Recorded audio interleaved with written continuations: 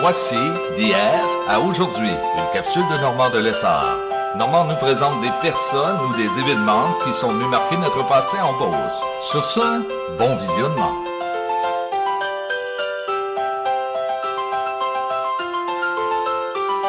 Allô tout le monde, ici Normand de Lessard et bienvenue à une autre capsule de hier à aujourd'hui. C'est quoi que, qu'est-ce que j'ai sur le dos?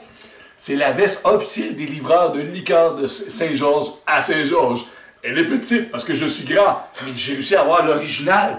Vous souvenez-vous, les gens de ma génération les plus âgés, Liqueur Saint-Georges était situé à Saint-Georges. Et en plus, ça a existé du milieu des années 40 jusqu'à début 80, 82, ça a terminé. J'ai réussi à mettre la main sur certains produits de Liqueur Saint-Georges. Alors, pour se rappeler des bons souvenirs, on va regarder ce que ça donne. Et moi, je suis fier de porter la veste officielle du livreur de Liqueur Saint-Georges. Bon visionnement et bon souvenir!